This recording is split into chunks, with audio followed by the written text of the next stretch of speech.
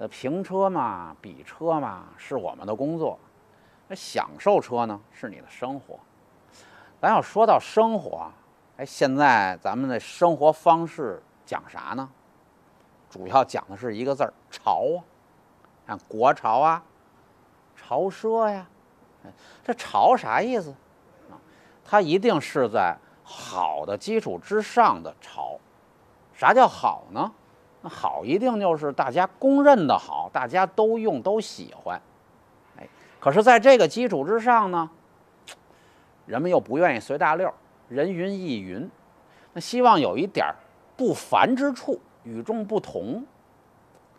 这不凡之处，与众不同，又得在好的基础之上，哎，有这样的需求，当然就有这样的供应，哎，制造者和消费者。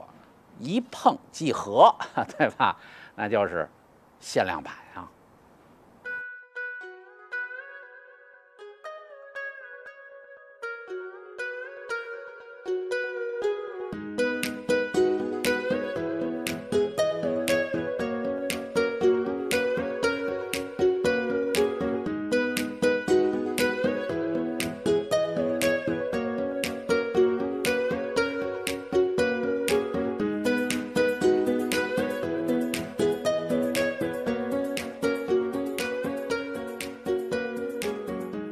那说到限量版呢，今天咱们得找一个车的例子，就是林肯在成都车展上发布的它的飞行家的 Mono 限量版。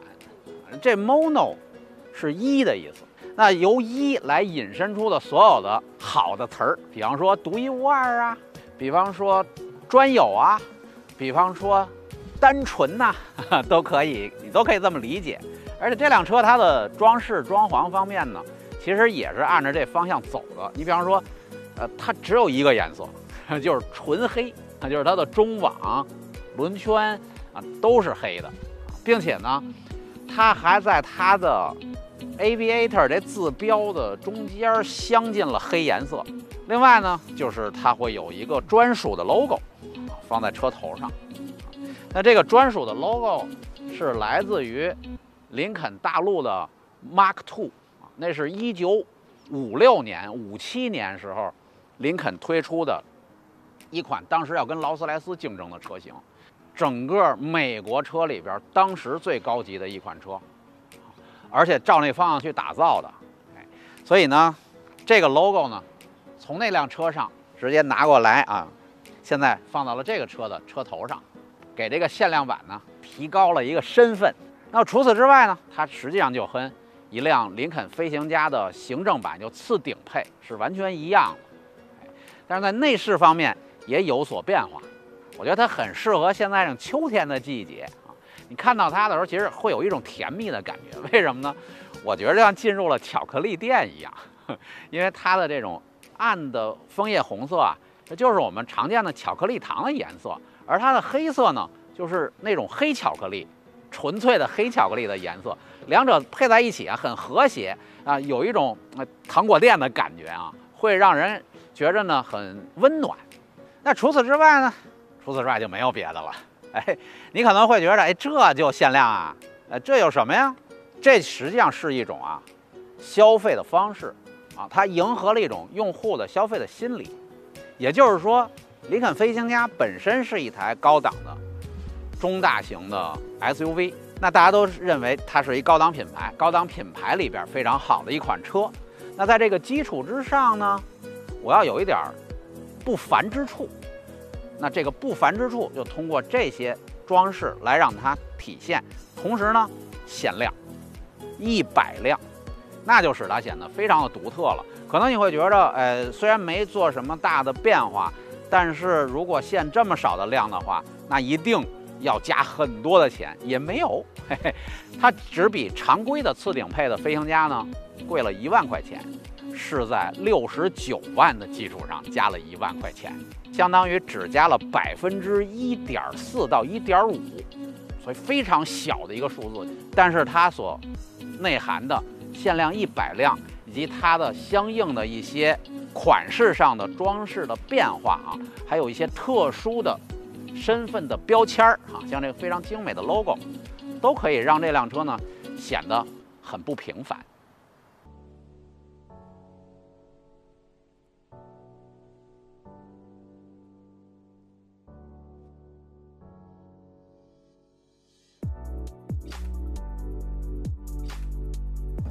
这个限量啊，这种方法在汽车上啊，才刚刚开始，时间不太长。什么首发版啊，什么特别版啊，这种啊，这几年才开始实行起来。你知道为什么呀？早几年呀，咱中国对汽车的需求主要还是功能，因为它是人的肢体和脑力的一个大幅度的延伸，所以它是一个高技术密度的产品。但是，当你对功能的需求充分得到满足，这个汽车它所带来的技术含量，能够给我们提供的功能，已经成为平凡的东西的时候，你就开始需要限量版了，你就开始需要一些不凡的因素来增加一些时尚的元素，使它产生吸引力。像这种销售方式啊，我觉得最典型的例子，咱们最熟悉的啥国潮啊、潮奢啊这些东西啊。这概念其实都在时尚用品上啊，在咱们更普通的日用品上，像这个 BOSS 的卫衣，它和一个著名的运动品牌罗素运动合制的这个卫衣，两个品牌的 logo 都是鲜明的印在胸口上。但是你知道它为什么吗？又是故事了。两个品牌联名出这个卫衣，它是为了募捐，获得的钱款会资助。中国江豚的保护，哎，这个社会公益的元素又放到里边了。你像这样的卫衣，大概啊，在最便宜的状态下，可能几十块钱你就可以买到，而这件卫衣可能要比那那些衣服贵十几二十倍啊，上百倍都有可能。但是它内涵的这种慈善的元素呢，又会使它的拥有者感觉非常的自豪，而知道这里边的故事的。旁观者呢，也会觉着很自豪。那还有，就是你像这爱马仕的围巾，你能认出它是爱马仕的围巾吗？根本认不出来。它是拿秘鲁的羊驼毛、羊驼绒来织的，而且呢，它是秘鲁当地的农民自己小作坊，按照爱马仕的要求用这羊驼绒来织的，所以量很少，只在。巴黎总店里卖，他为什么这么干呢？又是个公益事业，实际上是用来扶贫的，让当地的这个农民能够呢找到自己的一个就业的机会啊。如果你在巴黎总店里看到这围巾，你去购买它，作为一个消费者，你一定觉得自己非常的自豪，而且觉得这围巾极度有意义。一方面，它很有收藏价值，它是世界最奢的品牌。它自己设计的，按它的标准，真正正儿八经的爱马仕围巾啊。另一方面，它又有这内在的这个慈善的元素啊，非常有收藏价值。当我去跟我的时尚界的一个朋友收集的这些物品的时候，他用了一个包来装这些东西。这包自身也是一时尚用品，它是芬迪的包，但是你会发现这个包和通常我们想象的。那个奢侈品的芬迪的包完全不一样，它看起来非常的俗气啊，上面一个巨大的 logo，然后一种编织袋的感觉，但是其实用的是非常高质量的材料做。你看它上面这个皮带呢，也是用最顶级的手艺和最好的皮子来缝制的，所以你只有到近处把它拿在手里去把玩的时候，你才能感受到这种真正奢侈品它的做工和它的讲究。你看，我收集来的这这些时尚、潮牌、潮奢的物品当中，最顶级的这个限量版就是这手表，因为它是世界唯一专属定制的一块表，而这块表是真正的国潮。为什么呢？这里边没有任何外国元素，纯牌的都是中国东西。特别是你一看这表盘上面的孙悟空。我们这辈人啊，心目当中的孙悟空的标准形象就是《大闹天宫》里边的那个动画片的那个形象。手表的机芯是北京手表厂的超薄机械机芯，外壳啊十八 K 金的金壳，然后它上面这个表盘呢，是咱北京的一个珐琅工艺大师熊松涛的作品。熊松涛的掐丝珐琅表盘在世界上也是独一无二的。国外用珐琅做表盘是一个很普遍的一种工艺啊，当然都是在最奢侈的、非常昂贵的手表上啊，定制化的手表上出现。但是呢，他们都是画珐琅，就是他们会用珐琅做底，直接烧一个白的表盘，然后再在上面做画，然后再烧制。它不是掐丝珐琅，因为掐丝珐琅没办法做出来，那太难了。那这个工艺就是咱们中国人能做，北京熊式珐琅它能做。这块表的珍贵性就非常高啊，而且完全的国潮，嗯，有意义吧？那高度的精神文明建立在高度的物质文明基础之上，这话是真理。你看这这林肯这 Mono，它本身并没有额外增加太多的代价。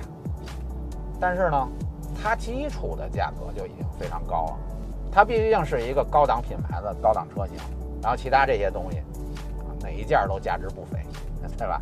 不过我觉着人要想获得不凡的体验啊，你到了顶尖儿的级别啊，它反而返璞归真了，因为这些真正的不凡、极致的不凡的东西，往往啊，无论你是富人还是普通人，你都不能把它据为己有。呃，它是属于全社会的东西。那无论是富人还是平常人，要想获得这种不凡的体验，也都特简单，都是一样的，平等的，就是去买张门票。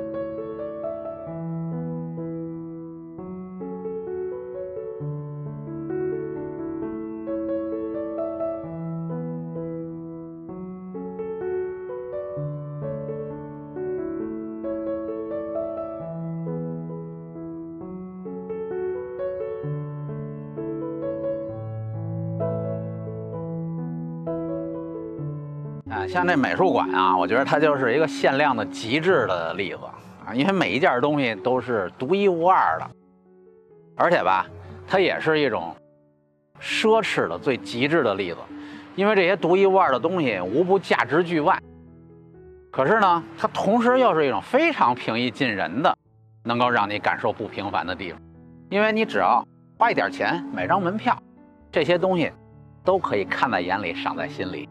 当你到这些美术馆的时候呢，你获得什么呢？我觉得是获得一种创造力的启发。人们的丰富的想象力，往往呢，在这种美术馆里、博物馆里，哈，能够以历史的长度，或者以时代的最先锋的形式来表现出来。但是你会说物质重要不重要啊？太重要了！没有极大丰富的物质文明，怎么能够有璀璨的精神文明呢？是不是？因为钱啊，我觉得它是一种能量，或者说是一种手段啊，来让你获取丰富不凡的生活。